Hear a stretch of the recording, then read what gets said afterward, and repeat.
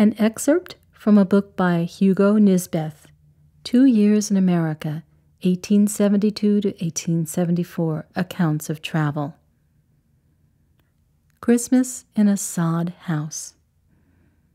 And so came the afternoon with its small arrangements for the evening meal and the Christmas table. There was no Christmas tree, for fir trees are not yet planted in this part of Minnesota, but two candles stood on the white covered table, and round these were placed a multitude of Christmas cakes in various shapes.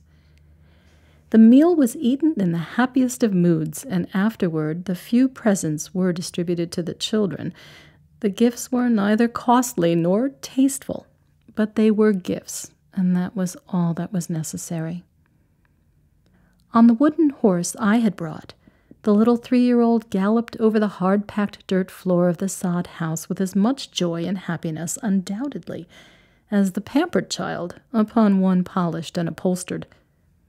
All was joy and thankfulness, and when later the head of the family read a chapter from the Bible about the Christ child, I'm certain that from the hearts of these poor people there rose many warm thanksgivings to Him who smoothed their path and gave them courage and strength to conquer the hardships of the new world. Outside, the snow fell slowly and spread its white Christmas mantle over the endless prairie. Now and then a snowflake fastened itself on the single window of the sod house, its curtains faded by the summer suns, and quickly dissolved and disappeared as if its icy heart had melted with joy at the sight of the peace that reigned within.